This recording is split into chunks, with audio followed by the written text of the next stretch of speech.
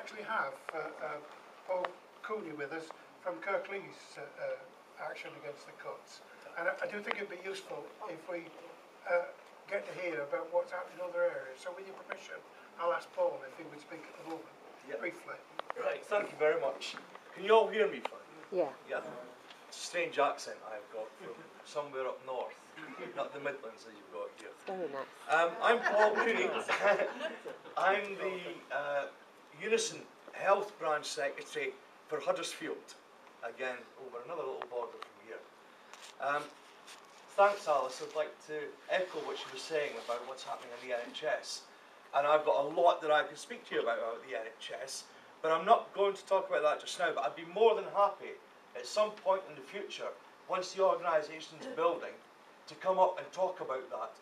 Not great length, but certainly in terms of the very, very dangerous period that we are facing in the NHS. Basically, within four years, there may not be an NHS left.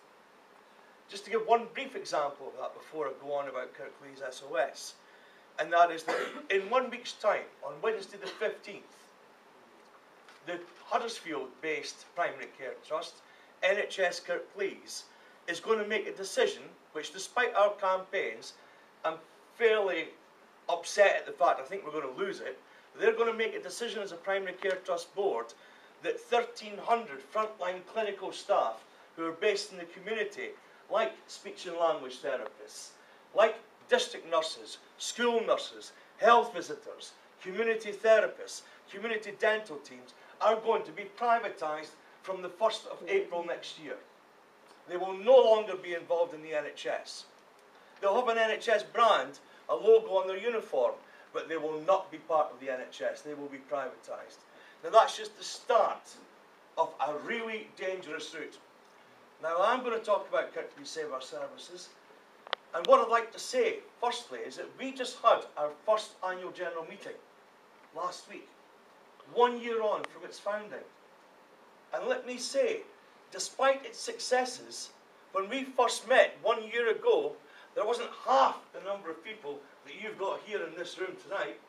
Because I've looked around and I think you're approaching 70 people in here. And you should be damn proud of that, especially in these conditions. Because when we had our first meeting, the weather was a bit more temperate than this is. So congratulate yourselves right away for that. What I would suggest in terms of our experience and how it lends itself to you guys is that you must start off with the aim of being as broad-based as possible. Somebody mentioned earlier on a political purity. Now we do have representatives from the Green Party in Huddersfield. We've got representatives from Labour. Um, nobody from the Lib Dems. Nobody from the Tories.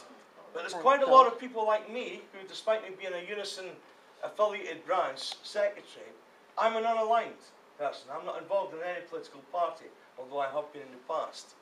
And it's vitally important as a foundation that it is as broadly based as possible, with party uh, political people under their experience, with specifically, and I really stress this, with union branch representation as well, from union officers in the area who know what attacks are being faced by their, their members in the current climate and can help with the basic organisation and outreach networks that they have, but also broad-based in terms of, I think that was Alice that mentioned, pensioners groups, community groups, women's centres and so on.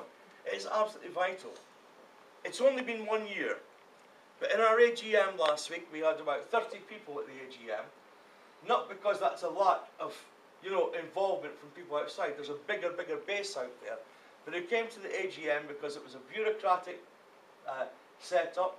It was about re-electing the executive committee, re-electing officers, but also getting into some planning on demonstrations and lobbies. Now, what you've got to do is just not listen to people speak all the time and I've meetings where people have lovely speeches and go on about what they're doing and what I've achieved and so on. It's about practical aspects. Since we were formed a year ago, we've helped, not led, but helped organise all the other groupings that are already in existence in the community to lobby, to demonstrate, to run rallies, to lobby the council, to lobby the NHS, and using all the networks at our disposal get out the information about all these events to as wide an audience as we possibly can. You could do it through electronic means, you could do it through face-to-face contact. I've got here, I'm not saying you should do this, but a model constitution which we've used. It's part of the bureaucratic hurdles you may have to go across. And I can send you copies of that electronically. I've also got a model resolution that trade union branches can pass in terms of support. You've also got to think about the possibility of funding sources, and trade union branches again are a very good means of starting that off. We have within Kirklees SOS, we call it Save Our Services, we have unison representation from health, local government, National Union of Teachers, UCU, CWU, FBU, and PCS. And that's a pretty good start, basically encompassing most of the public sector. Excuse me, I'm drying up a little bit here. But it is vital, as I said, that you spread this as widely, as far as possible. Faith groups, another Yeah. good avenue of exploration. Bring people together, because together people can make an impact. And we have all got one thing in common. Not only are we prepared to stand up and fight the cuts, we are in the main people who receive the services from those organisations that are being targeted by this government. Now we've actually got a lobby of Kirklees Council this Wednesday evening at five o'clock.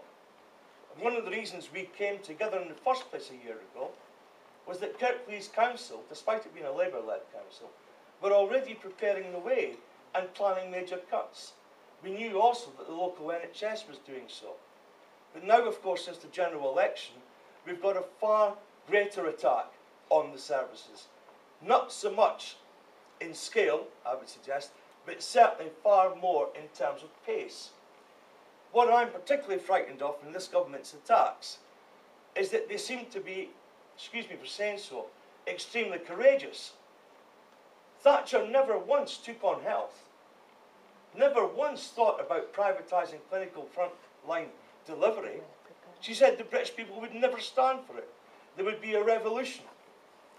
This government, in the space of six, seven months, is attacking health at its very roots at the same time as it's attacking education. at the same time as trying to implement major cuts across every aspect of the public sector and the welfare state. I, for one, am frightened. And it's all the more important then that we have the solidarity of such a wide base of people and groups and organisations as you seem to have been able to successfully bring about here. So I wish you all the very best. I'm more than happy to come and speak again at some other point. I'll be happy as an organisation for us to exchange views, progress, and maintain links between us because we're not talking about miles away. We're just across a county line, basically. so I wish you all the best and fraternal greetings and solidarity from us.